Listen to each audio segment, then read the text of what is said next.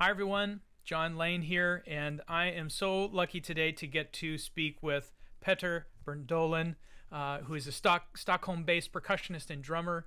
Uh, also runs his own record label and recording studio, and for almost two decades, uh, Petter has been fashioning this particular style of drumming uh, to suit Swedish folk music. It actually becomes Swedish folk music. Uh, which historically doesn't have a percussive tradition, as I understand it. And um, so, by designing his own sticks, uh, inventing and developing a very particular set of drums and tambourines and cymbals and bells, as well as cultivating this distinctive rhythmic and melodic language on the drums, he's managed to create this wholly individualistic drumming style that really transcends simply being the accompaniment to this music and becomes part of this this tradition.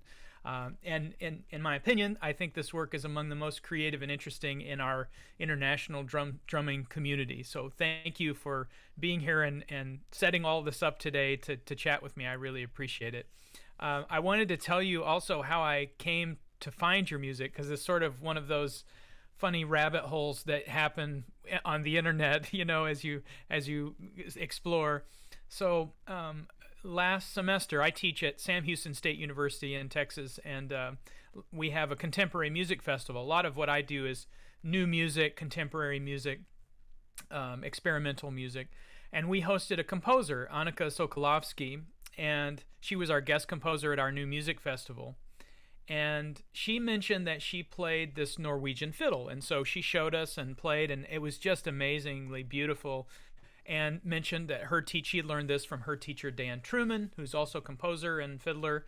So um, so then I started exploring his music, and that led me to um, I was particularly interested in his fiddle uh, music, and that led me to the duo project that he had with, and I'm I'm not going to say the name correctly, uh, Caoimhín did I say that correctly? Yeah, actually. Okay. Uh, actually, it's O'Reilly. O'Reilly. Um, O'Reilly. Okay. Uh, but, His first name but, is. But you, you, I think if you're like more correct, may, may, maybe like something like O'Reilly. O'Reilly. O'Reilly. But it's O'Reilly. It's, it's O'Reilly in written in Irish. Yeah. Okay. Yeah, okay. yeah. Thank you. Thank you. Mm-hmm. Um, so I found his website and I started listening to his music, and that's of course led me to your group. This is how we fly, and uh, from there I just became totally fascinated and started reading uh, and watching your your videos and things online and learning about what you do. So that's where that's where the connection is. It, it seems strange that like how me, a classically trained percussionist, would find Swedish folk, you know, music. But nevertheless, that's that's the that's the journey. Yeah. So um, so then I watched your your TED talk and and how you talked about how you came to these ideas, and so I want to kind of get into this. Uh, and maybe maybe a good place to start would be to talk about your background. Um, you said that you grew up listening to this fiddle music in, in the north of Sweden. What what was your what was your background with that music, and then how did you get started as a drummer and percussionist? Yeah. So if if we take it from the beginning, um, when I first tried drums. I was 15 years old in school, in music class, and uh, I played something like do cha do cha, and the teacher said, "Yeah, you're really good on this." Oh, am I? maybe I should try, uh, you know, uh, try it some more. Maybe buy, you know, drum kit, and and so I did. So we started a band with my brother and a few friends and uh, play like heavy metal music as you know most drummers start somewhere around there Yeah. Yep. and uh, i was 15 years old um, and uh, a few years later you know when i started to study more came into jazz music and uh, you know interested in developing my technique more and and so on and it's very easy to slip into that tradition then Were you taking drum set lessons like with a teacher learning jazz, or were you kind of learning Yeah. on your own? How Yeah. were you studying? Yeah, so so in um, in Sweden there is, um, you know, all all education is free, and um, of course the elementary school and university studies and everything, but there there is also something called like culture school or music music school for kids, uh, you can go there after you're finished. Yeah, after you like, like quit the day uh, in the normal school, Hmm. you can go there. So I started uh, directly um, when I was around 15 years old, and I had lessons at you know that um, um, place and quite a lot. I, I started when I was 15. I was in that school for six years, and I had like between two and three and like 15 lessons a week. Wow. So, so um, the, I, I was actually more interested in that education than the normal school. So yeah. So this was sort of after school, after your normal school, you would go and yeah, and participate in the exactly. music E- study. evening uh, or like afternoons and stuff. And primarily jazz. You were playing studying Um, jazz. yeah, it was um, salsa and jazz, like drum. It was uh, music theory and and uh, Oh, okay. different Everything. mm, big band and yeah, it was really everything. Okay. and so then, what's the uh, what's the connection then to the folk music where you where you grew up? You were said you said you were listening to this fiddle music that was always sort of in the Yeah, yeah. background. Uh, Yeah, so actually, I, I if we if we rew- rewind a little bit, uh, I was 15 years old. Uh, I started, I discovered heavy metal music and trying to play drum kit and and uh, slipped into jazz uh, because my the music teachers I had was interested, maybe more interested in jazz than in heavy metal. So, fo- following their lead and um, played jazz music for a while. And in where I grew up, folk music is uh, a big part of the community. Mm. So I I was on these uh, festivals every summer from my from you know seven years old, uh, hearing this music every summer, uh, and um, you know seven eight years later I started with the drums, but I I still continue to go to those festivals. And one day, uh, uh, me and, and my brother just realized, oh, we want to play this music. But you know, he was he was playing electric guitar and I was playing drum kit, but we didn't really know how to approach it. But uh, we started uh, with what what we had, and uh, and that was the start of like my my whole career. You know, that decision to, you know, trying to um, approach this uh, Swedish fiddle music with the drums. with the instrument that you Yeah, that I, Played. uh, yeah, exactly. Yeah.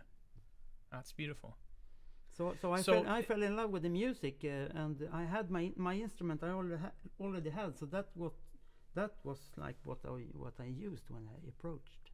Yeah that Mm, seems to be kind of the key point is you didn't then become want to become a fiddler you were like no i'm a percussionist drummer i'm going Exactly. to approach this tradition from my instrument that's Mm. that's very interesting so so then i suppose then that's what led you to the um to the royal college there a royal Yeah. academy in Yeah. stockholm uh can you talk a little bit about how you got there and Yeah. So so when I was um, um, when I was what it was it called uh, accepted when when I was uh, you know got into the school sure there was um, I don't know the English word like like a test you you you're coming there and hmm like an audition Yeah, yeah, audition, audition. I think there was maybe 150 people or something in the audition, and there was only five accepted. So I was lucky. I, I was one of those five persons. wow Mhm.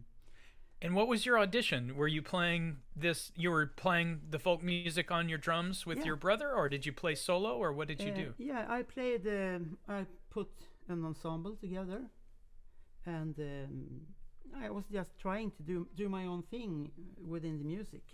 And by that time, I haven't learned an, any melodies or anything. I was just trying to do something with the music, uh, with with the background that I had by then. And I, I was the first one who, you know, this school has been for 200 years uh, in, and it's a very um, old and respected school. It was from the beginning was only classical music for you know 150 years or something, but Mhm. then jazz music, um, and contemporary music, folk music um, was a part of, of the education, and and I think there have been folk music uh, for 30, 40 years or something before, and and no one had been, you know. Um, no one had been there with drums before. I was the first one, so uh, maybe they thought Yeah. that, oh, this is something new, interesting, and let's see. Um, Yeah, let- a- let's, and let's as I und- accept him.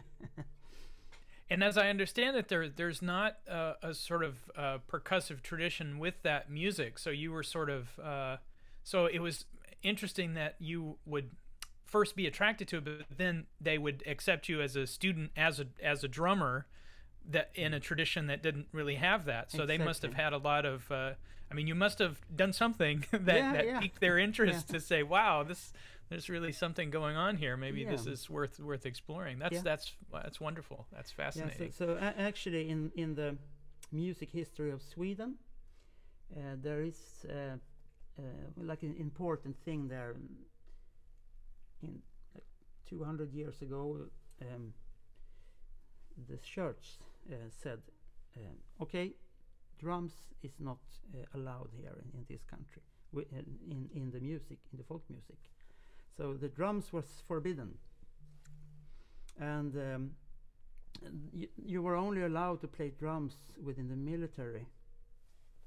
Uh, and I, th- I thought maybe they th- the church thought that people get you know you know uh, engaged uh, with, Yeah, with uh, excited, with- overly excited, yeah, or something. yeah. Yeah, yeah, and and that excitement was dangerous.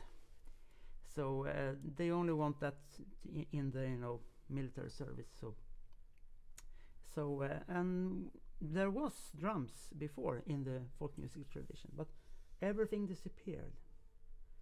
So what I have been trying to do is uh, figuring out how if the tradition would have been you know kept, how would it have been sound today? Uh, so I, I'm trying to investigate that. That's interesting. I, so I don't know that history. So what what 200 years ago, what were the drummers doing? What were they playing? I mean, I know like um, the bodhran in in Ireland, Mm. you know, I, this kind of thing. Um, but what what what drums would they have been playing? Yeah, th- then? there is actually Frame a, drums, there or- is a, a few drums uh, kept. Uh, maybe I don't know three or four, three or four or something uh, still uh, in the museum. They look like those military, you know, the drums that you. like uh, snare drums. Yeah, very deep snare drum, Yeah. Uh huh. uh, and um, they are m- mainly playing like a traditional grip, like with two Yeah. sticks, and uh, it's pretty pretty much similar to, you know, the Okay. the way that okay. you play in the in the military music. Okay. Mm, I don't know where, where what was first. Uh, was it the the um, uh, the tradition, the folk music tradition, or was it you know the the way that they play in the in the military? I don't know what, what was first, but uh, there there is uh, pretty much. mm, it's called um, Värend. There is a, uh, a region called Värend, and that's actually one place that the uh, said, okay, no one, no one in Sweden are allowed to do this, but you can do it in Värend. they, they had done something good, so they, they got a, a treat. Uh, so see. that's why uh, the tradition was kept. Interesting. Well, I have to learn more about that. I, Mm. I have to claim ignorance on that. I don't Mm. I don't know the, that history, but um, that that's that's very interesting. Yeah, so yeah, it is. um, so let's let's get back to your story. So you were then at the the Royal Academy, and uh, you were studying with fiddle fiddlers. Like, what were your lessons like? Uh, I mean, eventually, I read that you or you talked about this uh, in your talk that you Mm. discovered Indian music, and that was a big turning point. Can you just kind of talk about your time there at the academy? Yeah, so uh, at first I had a teacher, uh, he's, he's called Andre Ferrari, and um, he's a magician, and uh, I thought he he he was doing, you know, very progressive, contemporary. He has, he has fantastic ideas. So I was very inspired by him, and I had him as my you know main teacher for one and a half years. At the same time, I was trying to learn these uh, complicated um, melodies from the Swedish fiddle tradition, uh, and uh, I was you know practicing body movement and technique or coordination and you know sounds and everything with with Andre and uh, I had uh, this other fiddle teachers there uh, that was like I was trying to learn the, the, this music tradition. And then after one and a half year I realized that okay um, if I'm going to learn this music for real like really really deep I have to have a fiddle player as my drum teacher so I took everything I got from Andrea, like the, the technique and the way of playing, way of thinking, and uh, I continued like uh, like on my own or, or not on, really on my own, but I with fid- a fiddle player as my drum um, teacher. And An- Andrea, uh, can you say the name again? That was your drum teacher at the. At the Royal Music Acad- Academy, yeah. And Andrea Okay. Ferrari as, as a car. That's it, Ferrari. you said. Yeah. Yes, yes, It- okay. Italian name. So um, So you were basically just doing technique and, and stuff with him. Uh, Yeah. Were you still doing some jazz drumming at that? Was that what he was doing? Or what, what is uh, his. No, An- Andre is. Um, um, he's not. He's he's not. He's like this uh, drummer you cannot put in a category. Every time you're trying to label him, he's changing. it's like what is it called? Chameleon. Yes, chameleon. Yeah, Cha- yeah, chameleon, chameleon. Yeah, he's like that, and he, he's he's fantastic, very inspiring person. Okay. Um, so um, he does, ev- yeah, everything that he, he Yeah. wants to do, Yeah, yeah. Rather than you know trying to fit in a, in a frame. So so I, I was very inspired by, by him. Like like the first time I met him, uh, I, I I asked him uh, like on a festival. This was 2000 year 2000, so like 21 years ago. I met Andrea after a concert and I said, oh, "Hello, uh, my name is Petter. Thank you for the concert." And I was so inspired. Uh, could I have a lesson from you? Like this was uh, before I, I started, you know, the Royal Academy when he finally, you know, accepted me as, as his student. But first time I asked him, he said, he said, uh, "Okay, what do you want to learn?" Uh, I don't know. Uh, I'm just so inspired by your way of playing, the way of thinking. It's so different from everything else I've ever seen before. So I just want to have a lesson, learn something. And then he said, "Okay, let's do like this. If you imagine the sounds that that, that you uh, want to have in your kit, like if you uh, close your eyes and listen in within yourself, you could hear a bass drum maybe, you can hear a snare drum, doesn't have to be a snare drum, it's just a sound that you can imagine in your own, in your mind. And uh, there can be long sounds, short sounds, uh, something with, you know, short with sustain, deep, high, everything. Try to, you know, make a little collection within your head. Next step, find those sounds in physical objects like it doesn't have to be a bass drum it can be like a suitcase or something it can be you know anything and uh, when then when you find, found all sounds that you, know, would want want to have in your kit you have to put them organize them in a way that suits your way of moving your own body language you know so um, you're going to organize all those things in front of you so it feels like ergonomic for you. And when you have done that, uh, and you think that, oh, how do I progress from here? Then you can get a lesson. That's a great lesson right there. That's, that's my, my, my life's, um, the, that's the best lesson I've had in my whole life still. Uh, Amazing. yeah, and so so I actually I did that. All all those things I did that, and I came back to the same festival one year later. He played there again, and I said, "Hello, Andre. Uh, last year you said uh, uh, you cannot have a lesson, for me, but you have to do this and this and this." And then, okay, now I've done that. Can, can I have a lesson now?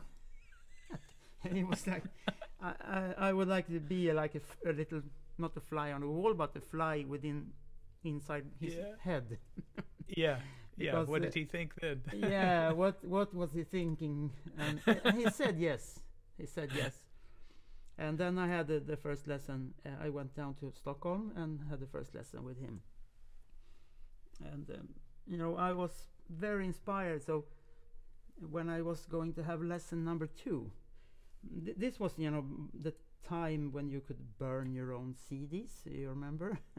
Right. hmm Yeah. Yep. So so I I made like recordings, like ten different songs where I used the technique that I learned from lesson number one, and I made a handmade like CD booklet with like twelve pages or something. Where I was you know showing my drum kit from from you know. Uh, from there, and I was writing everything about what I, uh, you know, and I burned that CD and I sent to him and uh, like, uh, okay, now I'm ready for lesson number two, and, and I got lesson number two as well, and um, you know, I, I was very, um, what you, what should you call it? Um, um, yeah, I was enthusiastic about you know the whole thing. Clearly. Yeah. Yeah. So No, uh, clearly. after lesson number two, some somewhere there, lesson number three was at Royal Music Academy, and uh, I was accepted there. And he, I asked him, "Okay, do you want to be my teacher?" Ah, yes, uh, that's okay. So so that that's the that's the start. But like uh, one after after one and a half year with like continuous lesson every week with him, um, I like I sold my jazz drum kit. I, I liksom sold everything and I, okay, now I'm going to continue on one really thin track, uh, and that's the that's when I when I finally formed the kit that I'm still using today, Yeah. like 15 years later.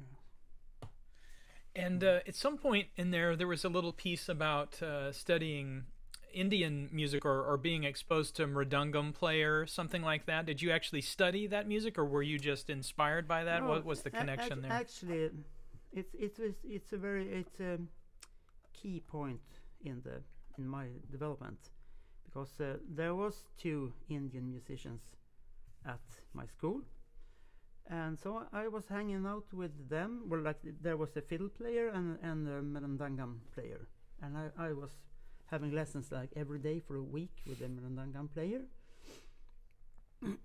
and you know, you know, in their tradition, they are learning before they can even touch an instrument. They have to learn the rhythms by by mouth, you know. Right. Uh, and say dum, dum, dum, and then they play the same thing. uh, You know that. And uh, so I did that with him for for a week. And uh, and then I realized that okay, I'm singing rhythms here, and uh, in my tradition, the, the Swedish folk music tradition, there is something called diddling. You know, you can you sing the the um, you sing those fiddle me- melodies, but with the specific syllables that is matching the bowing and the technique and the the um, I- idiomatic way of you know making music on, a fiddle. yeah. So I realized that uh, this uh, dum, da, it's pretty much the same as um, da ya dum diddlin da ya dum dal da dee la dim da dee la dum dal do. So I realized, okay, if I um, if I um, just remove the the um, the no- notes like the from the da ya dum da da dum da da da dum diddly da ya dum da it's pretty much the same as the in Indian guy did. So I, I um, yeah. when I've learned that, uh, you know, I, I just switched over to my language, and there, boom, I had something new That was w- it. within that idea. Yeah. It's so fascinating that it connects to the to the voice in such Yeah. a deep way, you know, and that that's that was already established in the fiddle tradition. I didn't realize that. Uh, I mean, I'd heard you sing that before, but I Mm. didn't know that that was like how how it was also learned and taught. That's fascinating. Yeah, That's because totally- the- I mean, it just makes sense. They fit together so well. Those two uh, approaches, Yeah. you know, with the And th- singing. This this music is is um, it's like uh, 250 years old, uh, and uh, you know there was no way of of um, making a tradition, you know, pass to, to the next generation. There was no other way than to do it by ear. Oral tradition. Yeah. And you know, all stories and everything before that, before there was a language that you could write, you know, the, the Icelandic stories, and um, that that is like a thousand years old or, or something. It's a it's an oral tradition that and um, it's uh, it comes very natural, I think. Yeah. Yeah. So um, let's maybe we can talk since you've got all these fantastic cameras and everything Yeah. set up. Maybe you Yeah. can walk us through your your setup and how how you arrived at this uh, this very unique set of drums. Yeah, so he- here we have um, my drum kit. Uh, I can walk you through everything. Uh, the my this is a 10 inch tambourine. We have an 8 inch uh, tambourine here, and snare drum 10 inch. Oh wow. Mm. And then there's a, a tom here, 14 inch tom. And what kind of what kind of uh, what kind of drums are these? Are these the uh, custom made drums that you? What, can Yeah, you tell yeah, us what, exactly. what those are? Uh, this this drum here, I've had I had this type type of drum for 20 years or, or something, and there is a, a Swedish builder called uh, Stefan Lund who who made Who makes those? make And it's just a plastic uh, plastic head tambourine. Exactly. Uh, Yeah. you, you can buy this online for like 20 euro. But but this one is a little bit, you know, as you can see, it's it's a little bit bling on it. and yeah. this this is actually gold. But, but, Okay. But but not not in, no no. and high just like quality, but- aluminum jingles, or what kind of jingles are on it? This this is the standard jingles. Uh, I don't know what kind of metal it is.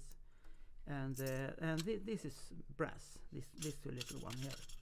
It, it, Okay. This one is handmade by by a friend of mine okay. here in Stockholm. But uh, the thing the thing with this drum is the The pitch bending. Yeah. Yeah. Yeah. the Uh-huh. that that it's um,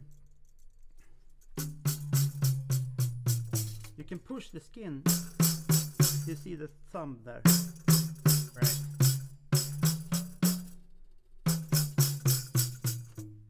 So when i put it on the on the stand i can use uh, the finger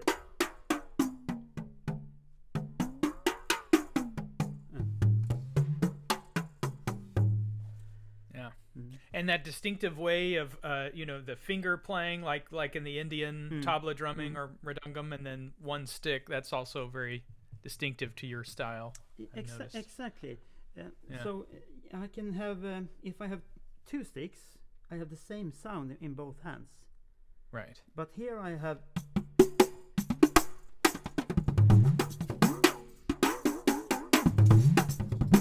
I can do so many, much more, many more things, and I can change. So.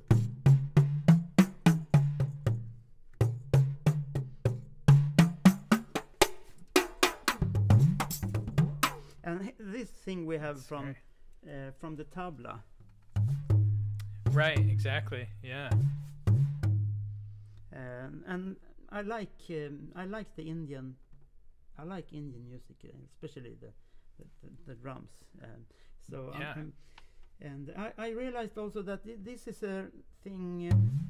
Uh, it can be uh, uh, it can be a it's a good way of um, making diam diam diam. Mhm. If if I'm following following the the bowing like diam diam dia dia. Yeah. That- Yeah, yeah. I get So it. we yeah. can we can come back more to to the tambourine, uh, this tambourine. Uh, the small one here can do the same thing.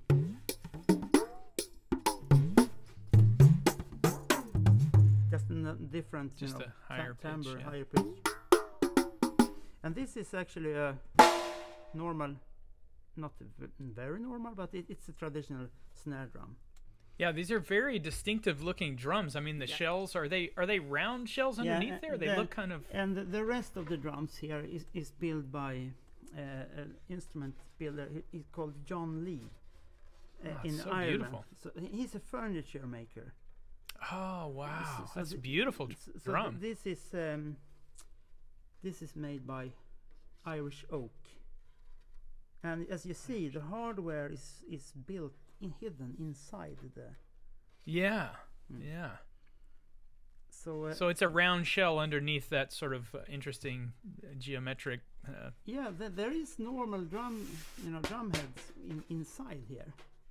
Yeah, But we wanted to, to you you can have a little you can see a little bit here. yeah, But, yeah. um, Uh huh. But I I like this very much. And and can you say again the name of the drum maker?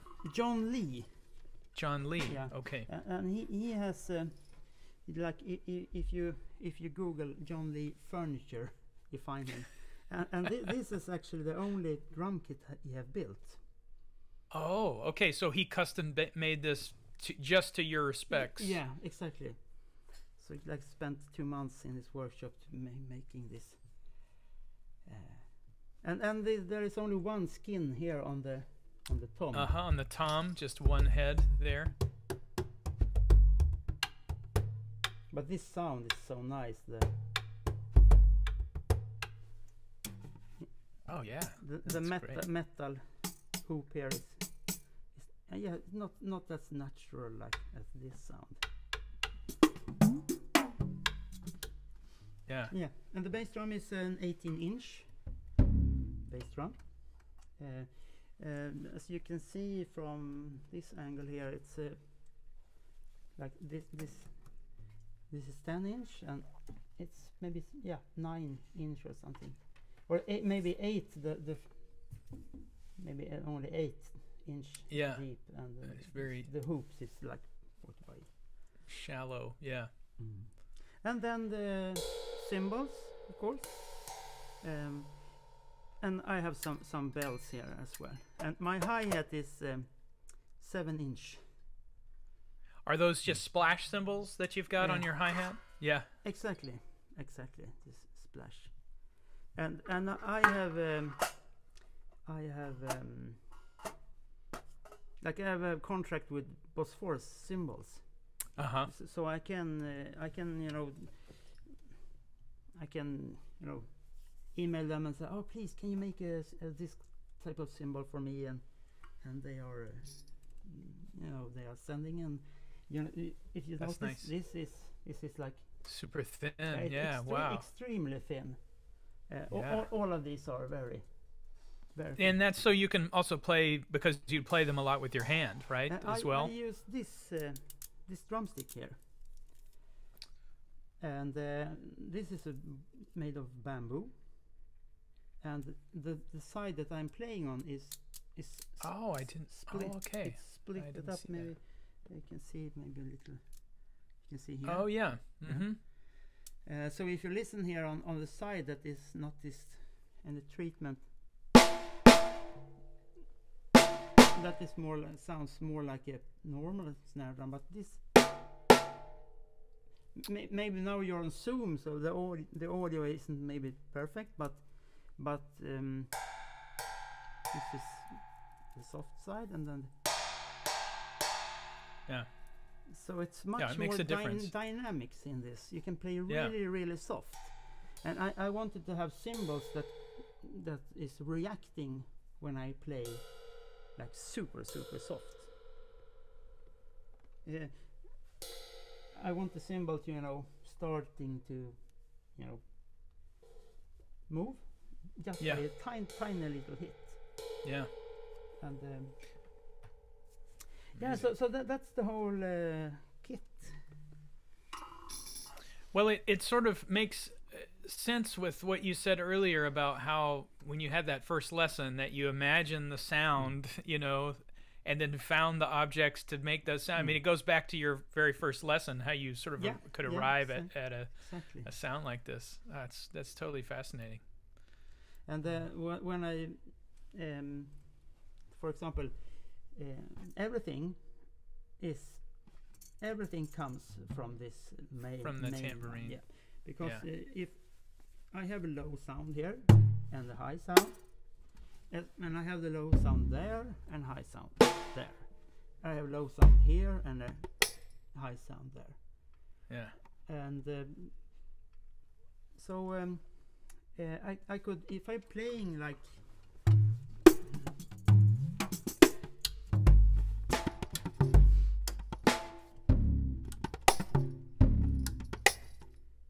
can I can make the same thing on different places. Yeah. Yeah. Yeah, I'm curious to know about the drums, like how you found a furniture maker who knew how to craft drums so expertly. That that seems like Mm. uh, a rare find. yeah, I, I was lucky because uh, you know it, what what happens was what happened was that um my band this is how we fly. We had an artist in residence at um, Solstice um, Arts Center in uh, in Ireland, like, like a big cultural center where you know they do music, arts, and you know everything. So we were there and for a, actually a couple of years and did you know concerts and projects. And uh, um, I think it was um, yeah um, when I got these drums uh, they asked me okay do you want to do some individual projects here uh, yeah and uh, one was one in the band was making music to a film uh, one was making like a recording a solo album, and the third one was making a like a duo concert with with um, a dancer. And uh, I was, oh, wh- what am I going to do?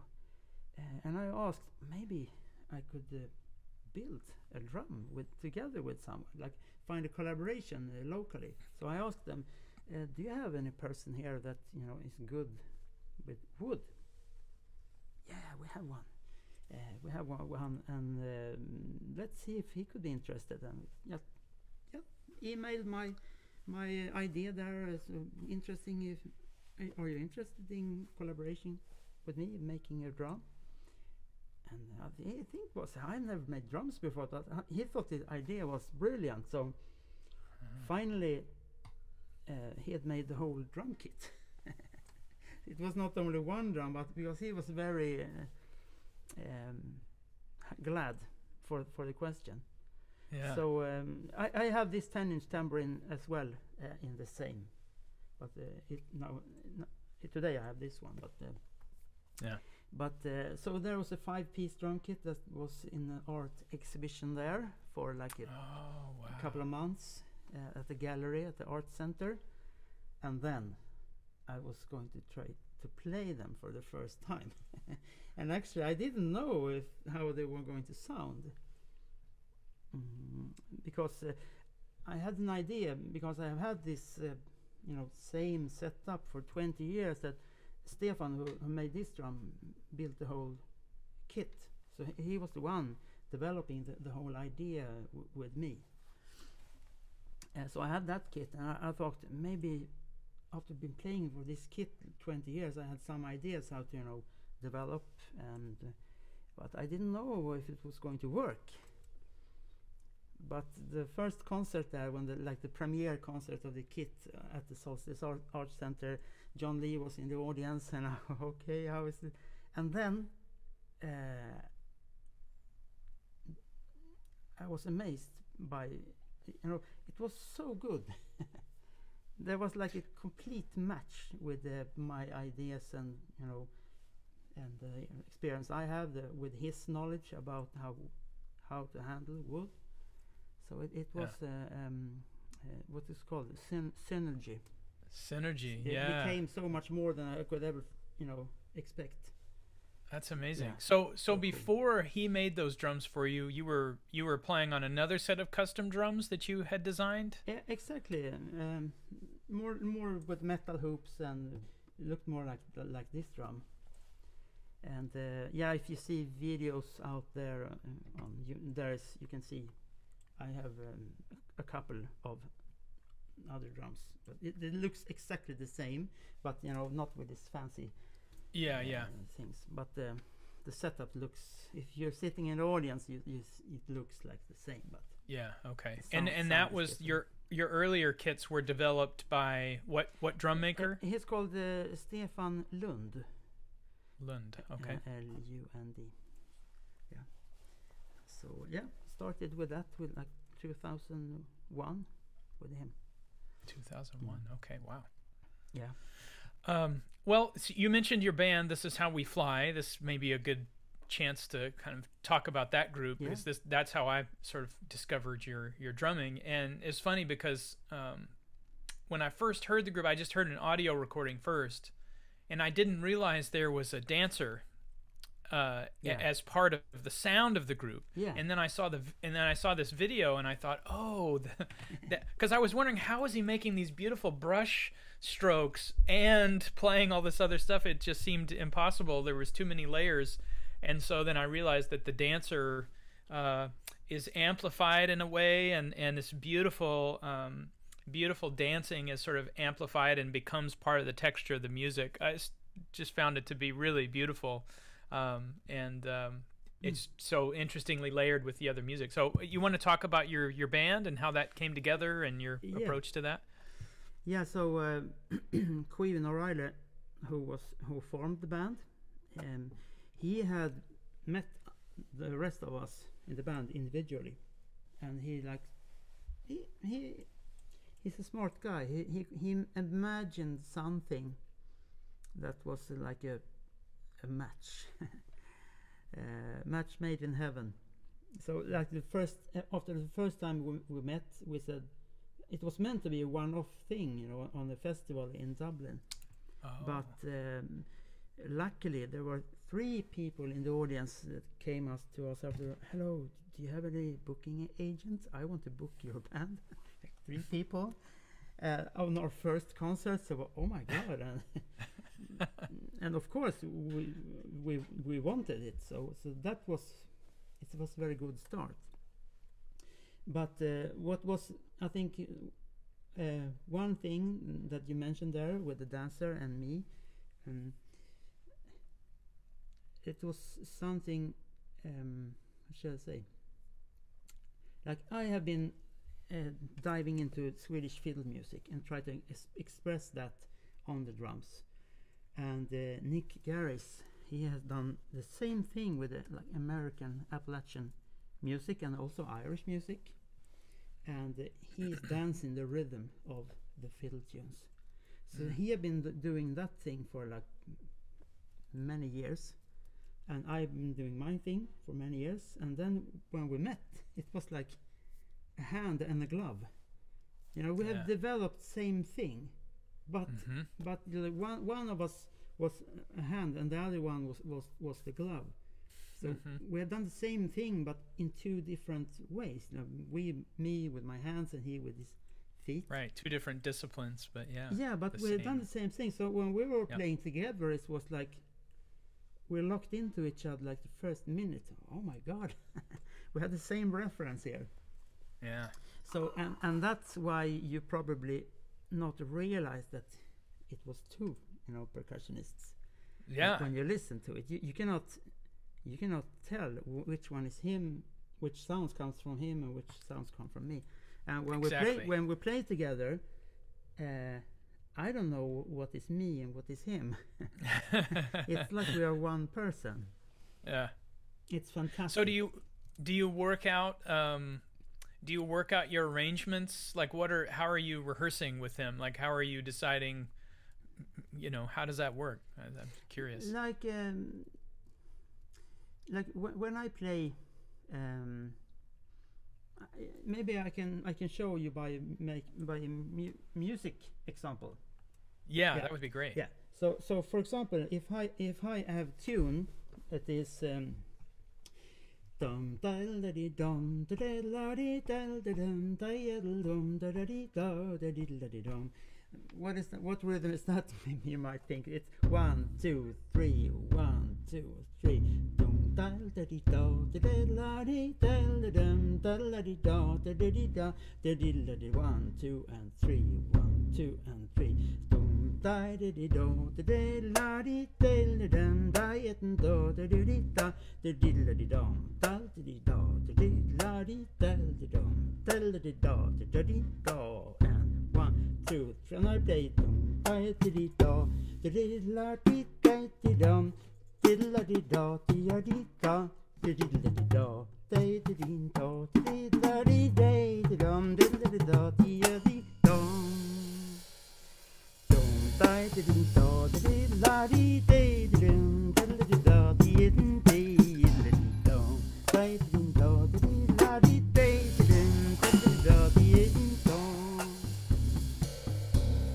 Uh, without the so, without you know the uh, singing da di di do di di la di da di dum.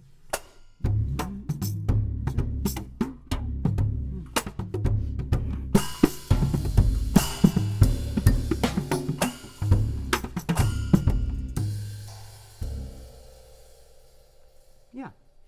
So uh, That's beautiful. and Nic uh, Nic Gareiss does the same thing with with um, with with his songs.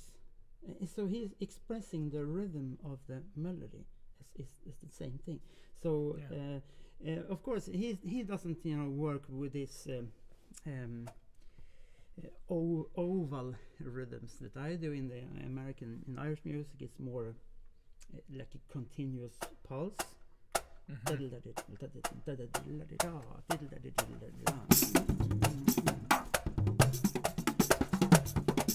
More, more those kind of rhythms.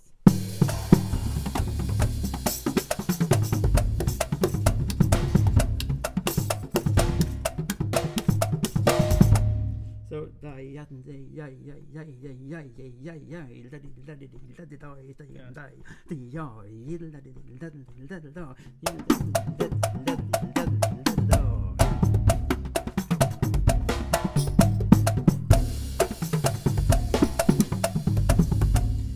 So, uh, that could be, you know, my way of, of expressing a fiddle melody, and, and his way as well. But but he has his sound, so that that's that's how we do it. That's beautiful. Yeah. Well, it, it works really well Mm.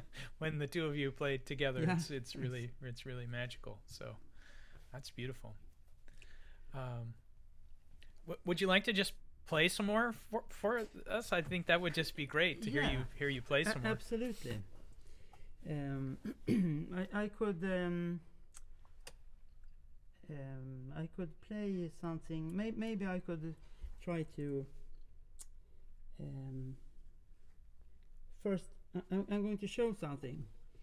Um, like, how the hell, how it- how does it work? You know, uh, so uh, it's ma- mainly it's uh, if you have a melody. Um, for example. Um, Da ya dum da dum da dum dee la dee dum da dee da dum da dum da ya dum da dum da dum dee la dee dum da dee da. One, two, three. So there is all always this stick is always doing da. mm, mm, mm. Two, and three. One, two, and three. Ba, bee, ba. One, two, and three. You You see, it's not pop, pop, pop, pop, pop, pop. yeah. Two, It's a little- three. One, two, three. The two is a little bit um, oh, little bit longer, short, long, short, short, long, short. So la din da din da ya din da da di la din da di da din da di ya din da din da ya din So this one goes like this, and.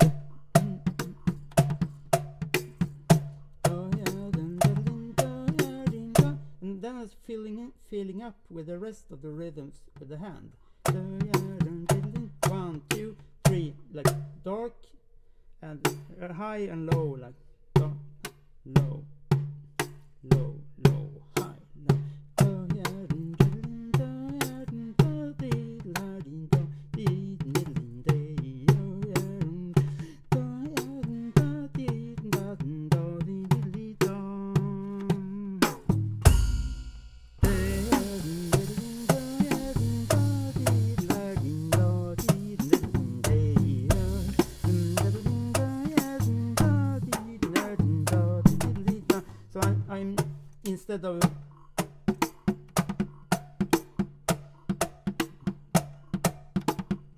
this is more like when you are practicing or learning.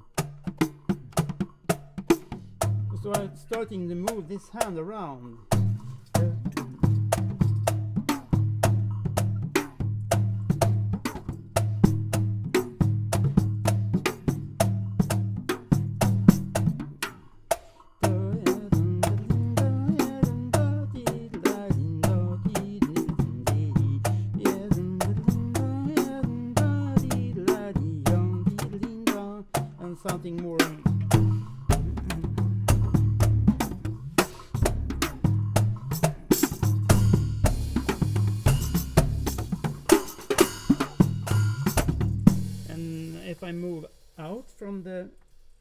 From the drum.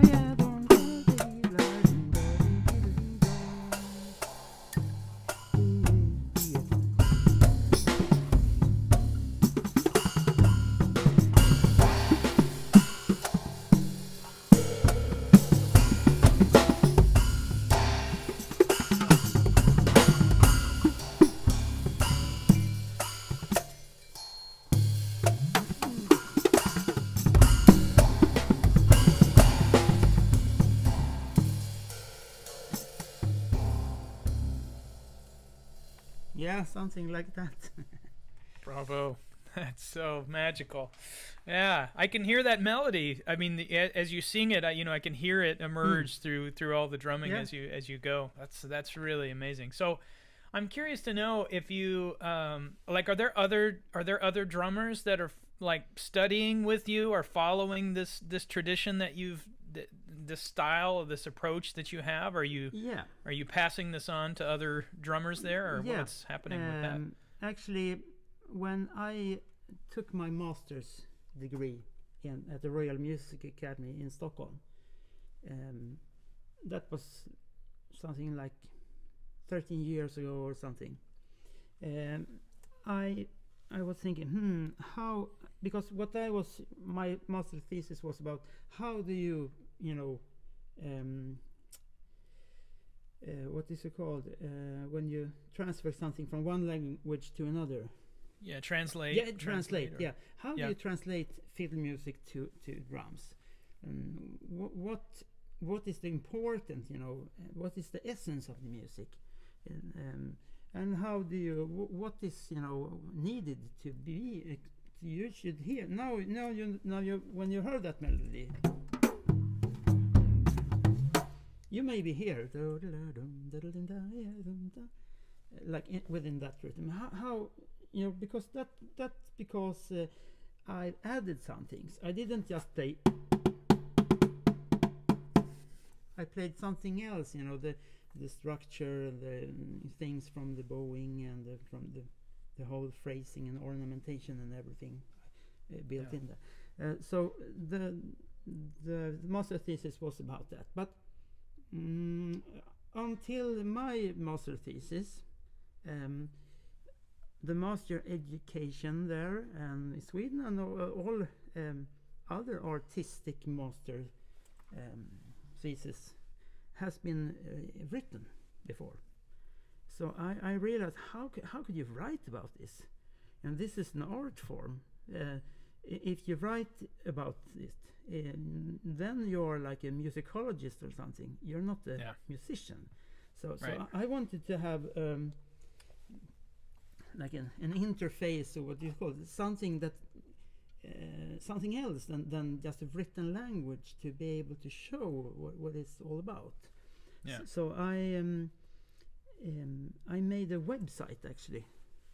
So I, I recorded like it was I think it was 140 videos uh, describing you know the whole thing, the whole translation process, the, every drum and how its function, uh, how it's function within within everything, and um, I made like a, a, website with a complete explanation of what I, I was doing.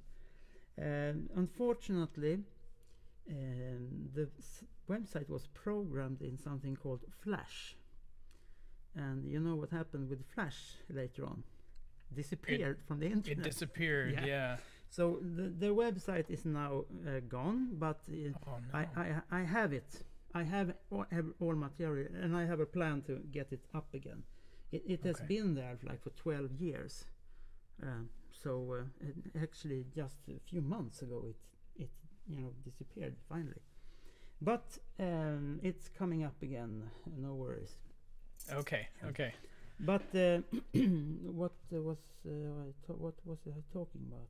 You had a question there. Uh, the question was answer. just you know about uh, other other are you know are yeah. you working with other drummers yeah. to develop this further or you know are yeah. there other sorry uh, kind of I, I, I lost coming behind there. you. So uh, I had teachers at the Royal Music Academy, not the field teachers that was you know, but other ones that said uh, okay, please, please, you know, this, this, you have developed something very unique here. Don't show it to anyone because they're going to steal it from you. and, and, I was thought about, I thought the same, you know, my teacher said, and okay, and I was trying to, you know, practice with locked door and everything because I realized the other students was imitating me, you know. Oh. And I could hear from another practitioner, wait, that's my thing, you know. Don't take it from me. It's not developed yet, you know. And yeah, uh, yeah. So, but uh, I realized that everyone want, wants to, to take this, you know, from me. Uh, or borrow it, or what you should say. They're inspired, of course. They want to do. Yeah. Uh, that was that was what I did with Andrea Ferrari. I, I copy every single, you know, um, you know, everything. Like I, I spent yeah. years copying him and other other drummers that I was inspired by before that. Yeah. So I realized, okay, they're going to do this anyway. So that I, have to make the whole thing public. So that was was what why I made that website. So here it is, and yeah. um, and uh, there has been people in many countries having you know copying this stuff. There, there are in, in uh, Austria and in United States and um, um, you know Canada, uh, Canada and, not not in US actually so far as, as I know, but in Canada and Japan and Germany, Estonia, Norway, Finland, there are everywhere. And uh, Stefan, who, who made the my my first kit, you know, there he get the email from Japan. Oh, can you build a Petter Berndalen drum kit for me? Of course, of course. so he he's, he's ships ships still uh, today ships away to, um, and of course maybe some people are you know handy making their own kit as well. But uh, yeah, yeah. But uh, this this kit uh, shows up here and there, and well, that's I, that's I fantastic. Yeah, I think it, it, makes me think of a couple of things. First, it makes me think of um, I studied jazz drumming with Ed Soph at University of North Texas, and um, Ed, you know, would tell these stories about uh, because he he played with Woody Herman, the big band, and he knew Wow. a lot of these famous drummers and saw them, you know, and how he would tell stories about, um, you know, going to a clinic by Tony Williams, the great Wow, drummer wow. Tony Williams, you know, and and you know he's playing his ride cymbal, his very distinctive, you know, fast ride Yeah. cymbal pattern that Tony Williams could play, and um, you know, somebody at the clinic asked, "Man, how do you, you know, how do you do that? You know, how do you play so fast with your hand?" And, and Tony Williams said, "Well, I just play with my hand." You know, Yeah. he didn't want to give it away. You know, he didn't want to. He didn't Yeah. want to tell all of his secrets. You know, so it reminds me of that. But what's so funny is that there there are so many people that, of course, then would study Tony Williams and learn hmm. about you know and transcribe and learn and um, he, he didn't actually have to teach it. It was there in the play, Yeah, you know and, and you you can just be inspired by that. But so I thought I thought of that when I thought of you. And then the other thing I thought of was um, this idea that's so transferable to to like what I do as a classical percussionist you know playing the playing the snare drum. Uh, there's this thing that I try to teach students which is touch. Yeah. you know, uh, like you're playing a Scheherazade excerpt or some, you know, some orchestral excerpt, um, or Capriccio Espanol is a great example. There's this part in Capriccio Espanol, and the snare drum part was dum, ba bum, ba bum, ba bum. And I've tried to get students to feel this kind of bouncy, you know, folk style of drumming, to to use a very generic way of Yeah. saying it. Um, but there's there's a certain touch that you've developed, and I think it comes from that oral tradition of singing it, and and you know, um, so I think there's something very valuable in what you're doing outside of this folk tradition that, that you that you play in to you know classical percussionist to jazz drumming. I mean, there's so many applications to your approach of of how you your the touch of what you're doing. you Oh, know. Thanks. I, I think that's uh, I think that's really um, something that we can all Yeah. uh, you know Yeah, learn. Yeah, for example, um, traditional drum kit, like yeah, actually, what, what what was coming from Tony Williams and further, you know, rock drumming, like yeah, it began with jazz and then you know Beatles and everything. Oh yeah, A- and and now now you have this this traditional. I also have a, uh, I also have the hi hat, and and I I have, I have the elements here. Three toms, snare Yeah. drum, hi hat, and cymbals. I have exa- exactly the same thing here uh, as Yeah. as they have, but mm, I'm thinking a little bit more that I'm speaking with my drums when Yeah. I'm talking. Uh, Yeah. I, I, I'm I'm making a conversation. So when we talk, uh, like when we talk, I could play something instead, like. I'm not screaming. You know. right. Uh, The yeah, dynamic. Yeah, the the touch is- dynamic yeah. in pop music is like flat. Um, uh, no offense, I, I love uh, you know hard, you know rough, uh, heavy beats and, and stuff. I, I like that as well. But but for me, it's a, it's a little bit not it's not so. Uh, I'm more um, interested in the, the sensitive stuff than the. Yeah, mm. So yeah. uh, me, me too. yeah, it's something that is uh, forgotten a little bit. Like a drum, Yeah, drum I, solo. I think that's Yeah. Sorry, what did you say?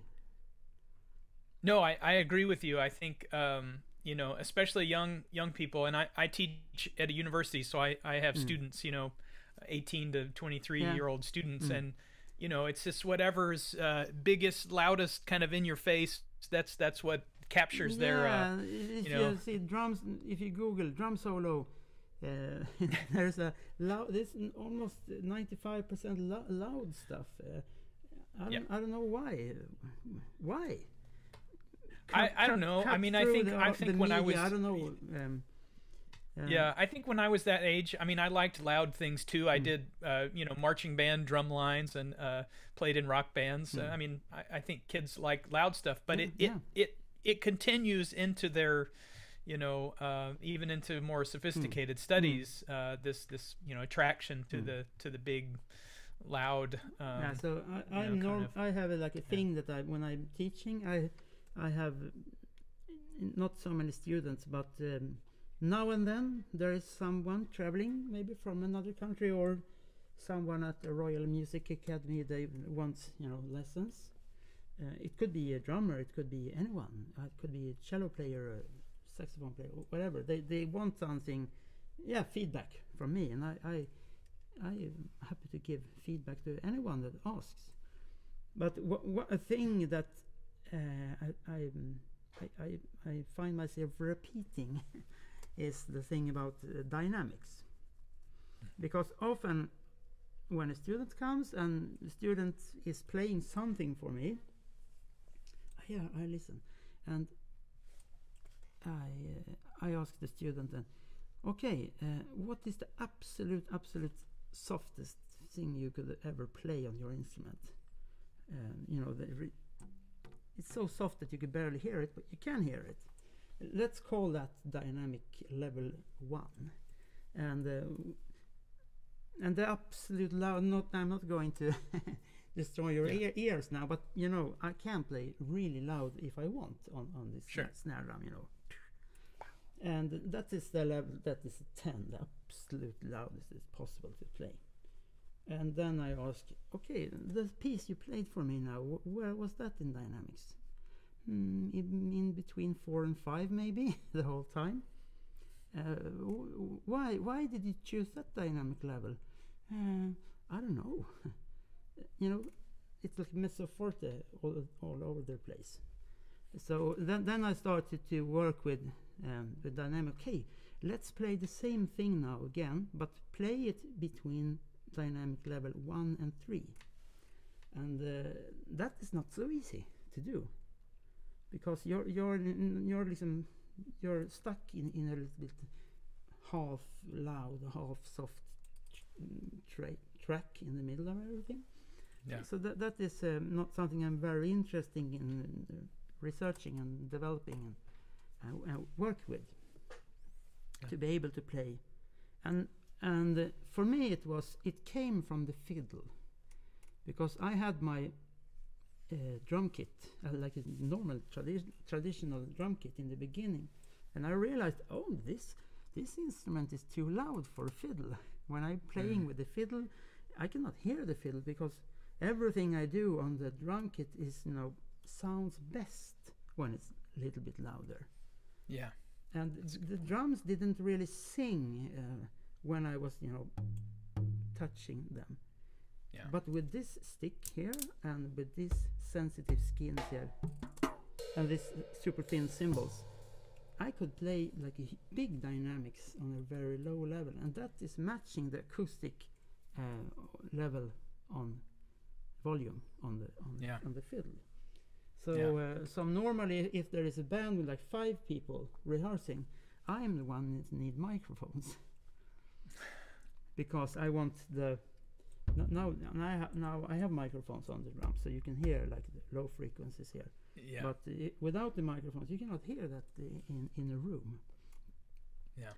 So uh, that's why uh, microphones is a very very important part of the drums. We haven't talked about that yet. yeah. But I want to be uh, on a stage with 500 people in, in the audience, not people in, in a bar, like more in a concert hall where they are quiet. So Yeah. they, they could hear when I put my finger here, here, and snare drum, and they could hear that. And uh, there is Yeah. a there is a connection. We are listening to each other. Like super soft things. It's it's even more soft than my voice. hmm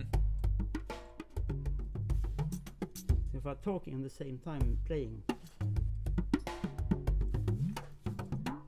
my vo- my voice is, is, is stronger than the playing.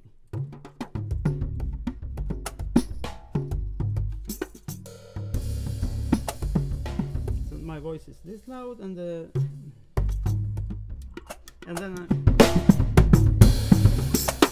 I can you know put the volume up Yeah. uh, if I want. But with the, the microphones, it gives you kind of a depth, uh, the, the depth of sound, right? You get the Yeah. lower frequencies that you can't hear, like Mm. you mentioned, right? That's what the Yeah. microphones accomplish for you. Not not for volume, but for quality of Yeah. sound. Uh, and if uh, So that's as much a part of the setup as the drum itself, right? Mm. if you take a drum and, and play it, that's what the microphone hear, hears. If the micro the microphone here is, Right. i- is um, here here it's there. It's just five, three, Yeah. three four centimeters from from the drums. So the microphone is And actually is that a condenser? Exactly. So the microphone is listening like here. S- So that is quite interesting. If- If you take the listen here, that's was the microphone is hearing. So um, that's and the softer you play, the more round uh, and and um, you know full range sound. Yeah. And if you hit harder, then then there is more of the actual hit. Yeah. Mm.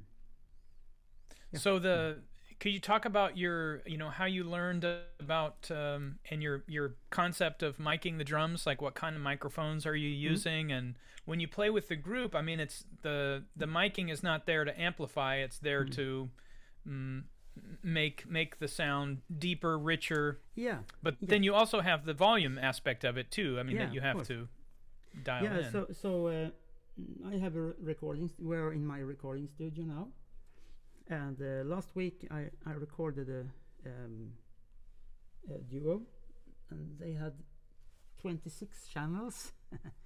It was o- on two people, uh, so quite many microphones. There was a line, a, a lot of you know um, built, microphones built into their instruments, and there was uh, different setups around them. And uh, my goal i- every every time when I record is to gain stage. Uh, you're familiar with that word, gain staging. gain stage I, I guess I don't know Yeah. that I can explain. So, uh, like for my drums here, I have one mic there, two, three, four, and five, five and six here. So what I want when I record this, and I want to listen back in the mixer, there should be the fader should be on zero.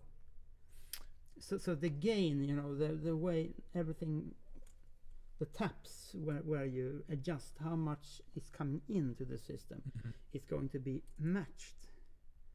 And the, Yeah. the, the master, if, if the master fader is also going to be on zero, and the, the listening level should be like no, a normal level.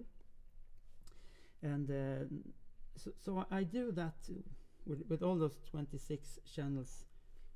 And uh, and actually, actually, that's the same thing I do when I put microphones on my drums.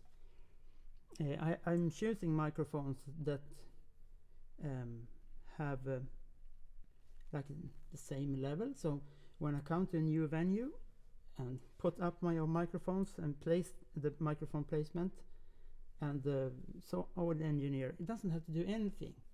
The EQ is flat and the fader is, is completely flat. The sound is perfect from the beginning. Hmm. Uh, and how I came to uh, that level, uh, I did it by uh, at the Royal Mu- Music Academy. We had a studio, like an advanced studio with like a big SSL, you know, mixing console, all microphones, everything. They had everything there, and uh, I rented like from different shop music shops, and I borrowed, and I, I came up with, uh, I think it was like 25 microphones or something.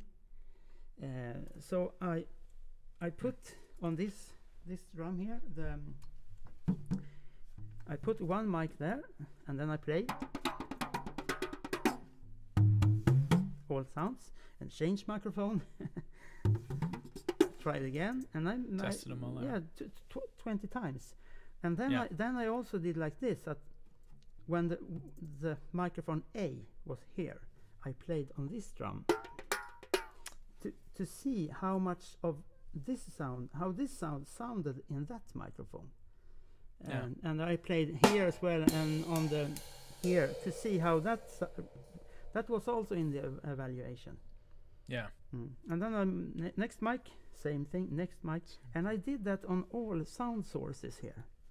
wow And I ha- I had today I have I don't have a mic on the snare drum, but in tests I had seven sound sources, like one, two, three, four, five, and six and seven overhead. Yeah. Mm. The overheads. So, so I did uh, that, and then I went to a company called Intelligent Sound in, in Sweden. Here, there is a blind person. He's from Norway. He's building speakers, and he, he's a genius. And he has the biggest ears. I yeah, really big ears. He, he has Mm. been blind since birth, so he's a really good listener. Yeah. So we had like uh, 200 sound files, and we listened through every one of them. Me, him, and a third person. And he was like blind, and he, he said, "Oh, that's one. That's the one. That's the best one." and I knew which one was which, but, but um, I also tried to make the test like a blind uh, for, for for me as well. But he he was blind, so Yeah. he's blind. So so then then we came up with a. Um, uh, selection of microphones that was the best ones. And that was actually uh, uh, Omni microphones, condenser Omni microphones, uh, uh, by DPA, Danish. Omni condenser microphones. Okay. Exactly. Okay. So I used that, those DPA mics for like 10 years or something. Then a, uh, friend of mine, Jörgen Turesson, uh, I think if you're if you're into or pro audio and studio equipment, um, you know uh, him. He has this is this is hi, this is his uh, like flagship microphone, and you can find them in like in the you know most fancy studios in in uh, in um, United States and England or Germany, all of the play all over the world. He, he's a he is a um, master, and he, he uh, actually um, had also made Mm. Omni microphones, and that's w- what I use here.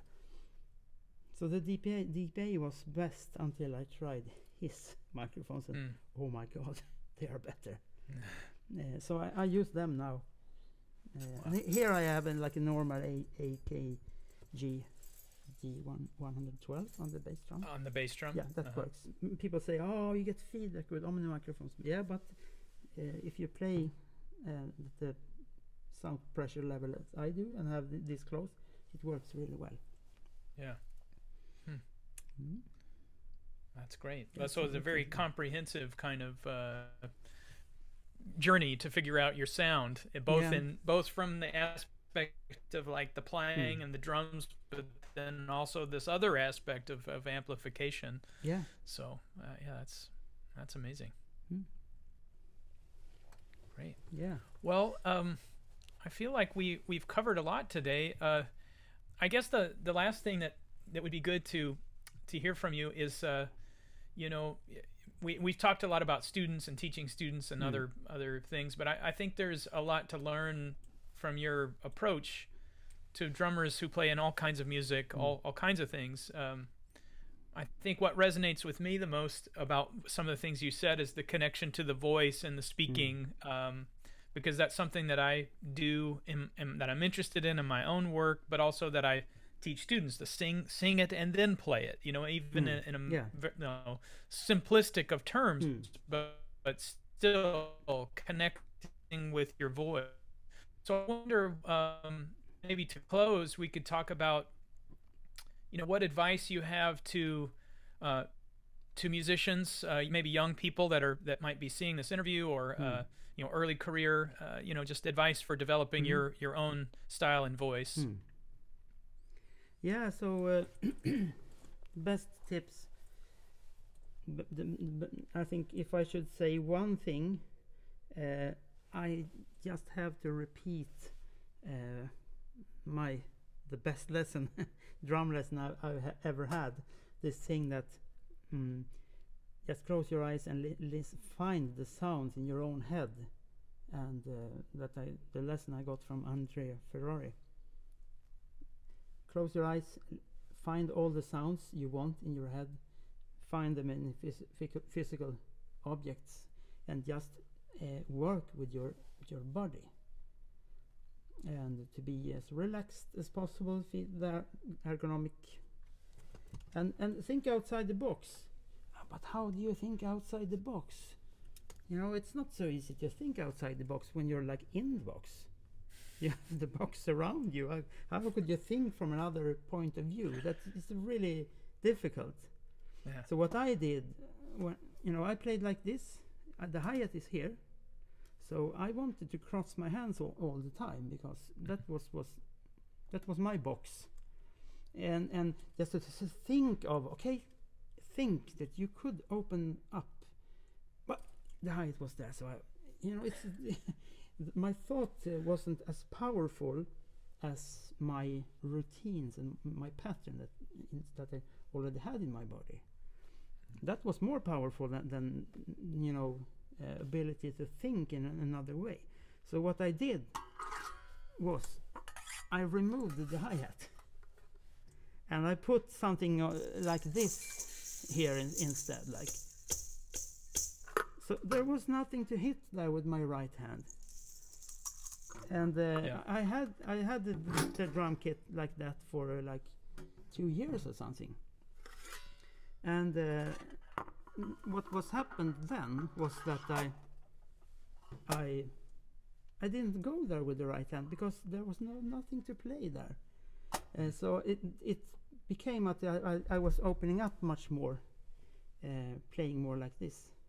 And when when all those uh, you know the pattern to just go there, uh, when that one was gone, I put back the hi hat.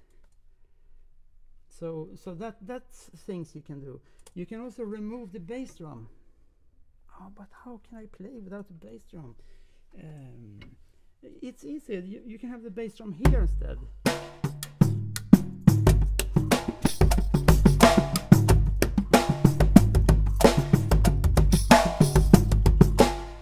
And um, and then uh, when you put the bass drum back,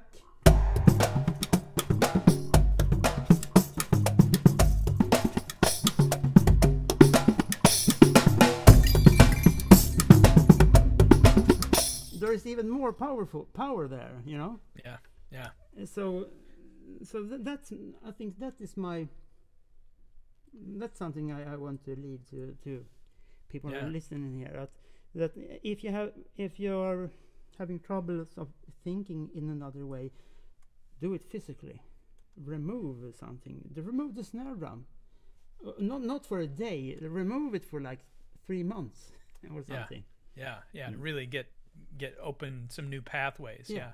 exactly Well, and I love your idea of uh, just you know, you have a stick in one hand and your hand in the other, so you Mm. can do, manipulate and do different things, uh, bend the pitches, and that, that that's also a thing that uh, is very distinctive Mm. about Yeah. how you play. You know. Yeah, that's it's something as well to, for people to try, uh, because uh, you you can do things. You can do the same thing with the fingers. So, for example, a paradiddle, this one, the classic one. Um, uh, if someone in, is listening on this that it has two sticks and a drum kit, you know what, you can do uh, with and just move, move everything around.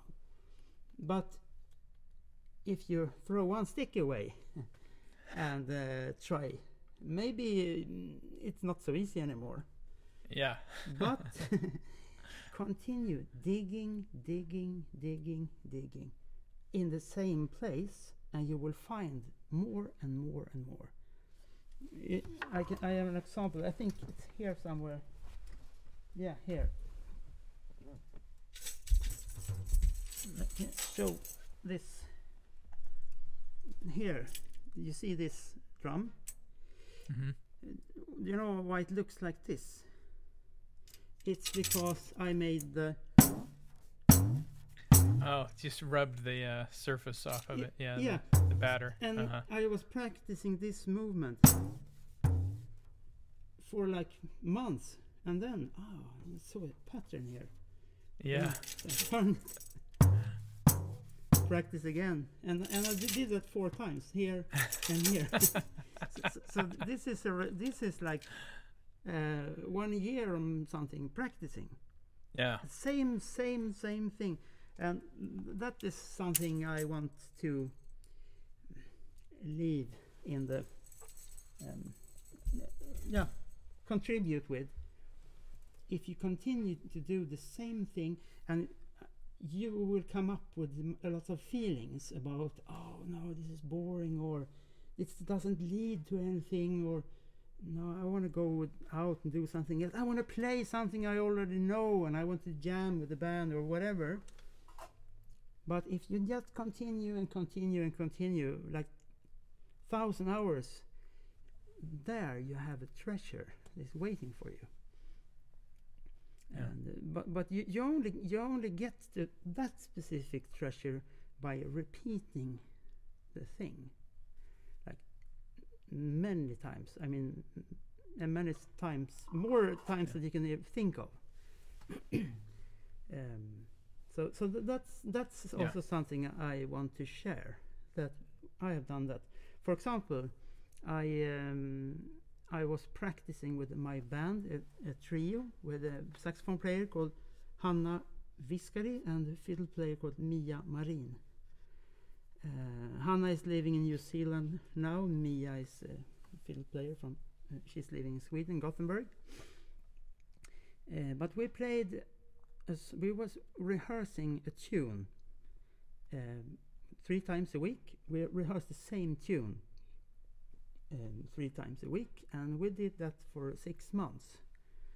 Every rehearsal was about two hours, uh, and we, we kept rehearsing. And the thing is, we knew the tune from the beginning, and the first rehearsal we already knew the tune, but we were like repeating, and and uh, after like months, we could like mm, in the you know sixteenth bar on the third beat, like the, si- the two 16 notes there uh, on the, uh, we were like bending them a little bit to the side, uh, Mhm. and maybe that was my uh, part to, to lead them in that little little detail.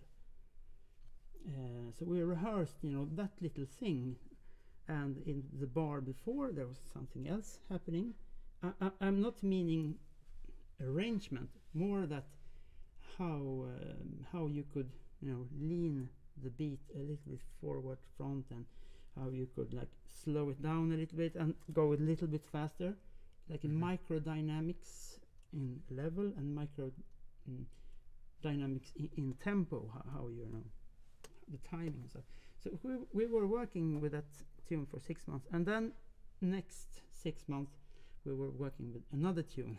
So after one year we only had two tunes but we kn- knew them so well so that level of you know w- what's the english word for when you're, you're really tight together as a band Yeah. Mhm.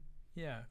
I know what you mean. yeah that level uh, um, actually um, it's not so easy to reach in maybe if you have thousand concerts if you're touring full time with the band in for years maybe, maybe you get the same level of con- connection Yeah. but uh, you if you don't have a, tour with th- thousand gigs you can just do it in the rehearsal room instead Yeah. same thing Well, I, I love that there is this idea that you can, because I, I think a lot of musicians are very, uh, how do you say, like product oriented or, or um, mm, they want to produce something, right? They want to have a, a thing. And it's always been my approach that, uh, you know, I'm always more about the process. I'm very much in, in, more in line with kind of how you're, how you're talking about uh, this rehearsal process rather than always having a goal that's set in front of you or you're you know you're going to do this performance or this album or this whatever the thing is right um, but but to go deeply into the process um, is is really important for Mm. our for our development and to do that with a group seems like a, a wonderful gift Mm. uh, an opportunity Mm. to be able to do that and not be pressured to have to produce something i mean Mm. here you've you've got you've got two pieces. You know, it's not enough for a it's not enough for a concert yet. It's not enough for an album, but but those two things are really great, and and to just to keep following that and and developing it, that seems like a wonderful Yeah. uh, a Uh, wonderful thing to uh, be able when, to do. When we did that, that thing, it that it was almost. It's yeah, I think it's actually 20 years ago, or maybe I 18 and 19 years ago. We did that work together with the trio, and I still benefit from that work now, like 18 years Exactly. later. Yeah. Yeah, so that's something not to forget as well. Uh, that uh, you're, you're talking about. We have to have a product. We have to have a thing. We have to have something to Yeah. market. We have to something to post on Facebook or Instagram, or whatever. Something. Look, here is our thing. Yeah. Look at me. Look at me. Yeah, it's nothing wrong with look at me. I, I have a lot of look at me inside. Well, you, you have to, there's some level of that. I you're right. There's some level of that that you have to do, but yeah. But The I- I mean, I mean, look at now. I can show something uh, that is mm, maybe it's not able to post it on Facebook, but I have something now after 20 years of, of working with the drums that is uh, maybe for me it's worth more than something you know uh, fancy thing that you Novel, just throw, yeah. throw out. Yeah. Uh, it, it's worth more. It, it- it's like a long-term relationship with yourself. Yeah. Yeah, we um you know I I uh, I'm interested in and have practiced in Buddhism for a long Mm. time and there's this uh, when I first met the teacher at the the Houston Zen Center Mm. in, down in Houston um Gaelyn Godwin is her name and Mm. she said uh, you know I went to a class where beginners you know introduction to meditation and you uh, you know the first assignment was you know we we sat for i don't know 10 or 15 minutes and then we all left with an apple and she said Mm. your assignment is to eat this apple Mm, yeah. mindfully you know very very thoughtfully eat this apple and as you eat the apple think of you know the the sunlight and the water Mm. that, that went into producing and then you know so Yeah. anyway there were Mm. these kind of assignments that she would give us but i told her that um you know that i'd arrived at this from from studying uh John Cage and his music and Mm. sort of getting getting interested in the philosophy of all this, but I'd never practiced it. Yeah. And I mentioned that to her. Yeah, I never practiced it Mm. but of course then i you know we, she knew that i was a musician and that i had this long practice as a musician and she Mm. said well you already have a practice Yeah. this is just an extension of what you already know how to Mm. do you know you already know how to focus and practice and it's true that that Mm. had then um, defined my practice up to that point was being able to be in the moment and and concentrate and and that's essentially what Mm.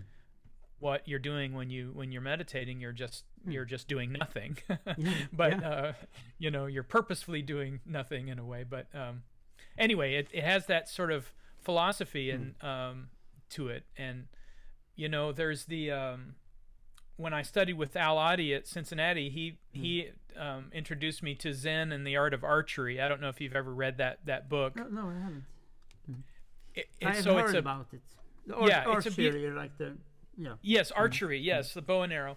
Um, and and it's about this Westerner who goes to Japan to study Zen, and he he ends up in this uh, monastery where their practice is is archery.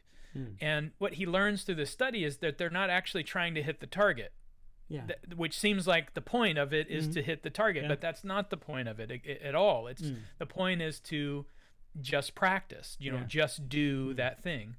And so I think that's very uh, much in line Mm. kind of with your with your idea Yeah. here. Yeah, so know. y- your story about the apple there, um, it takes me back to, to the paradiddle I was talking about. Yeah, you can see you can see the paradiddle as a like a finished product, something to show, and um, I think many people today thinking that okay, uh, the paradiddle is,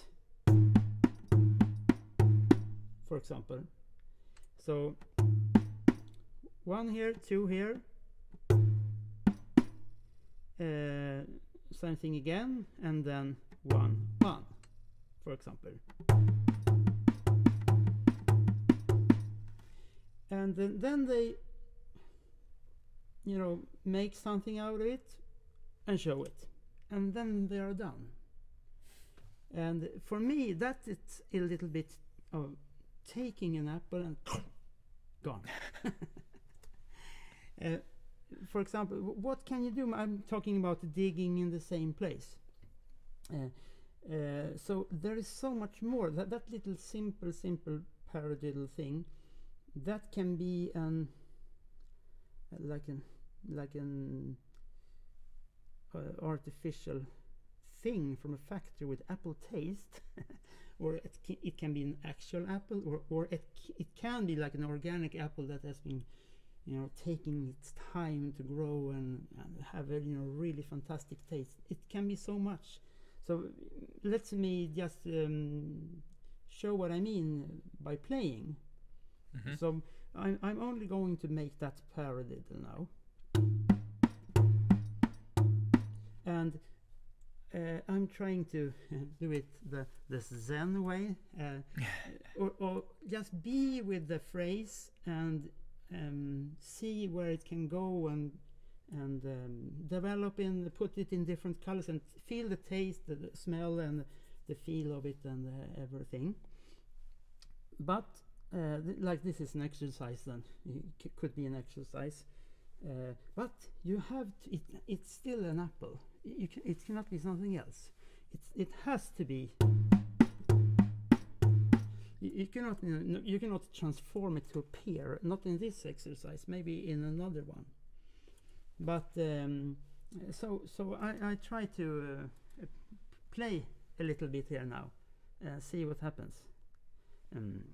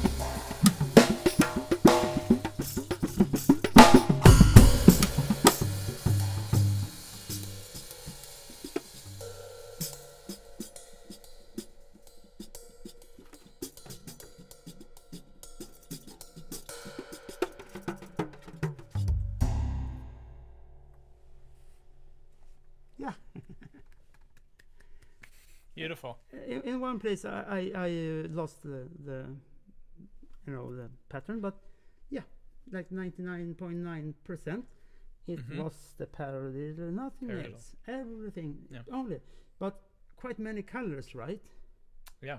yeah Right. so Exactly. so th- that that's how I like to uh, approach everything the ba- use the basics and develop the basics into something that has more like color and uh, yeah dynamics and so Yeah. just as an um, musical comment of, of our discussion Yeah. Well, uh, Petter, this has been really fun for me. Uh, I've so enjoyed getting to talk to you and, and see your uh, see your setup and, and learn more about what you do. This is thank you so much Mm, for sharing. thanks, thanks. I, I really appreciate it.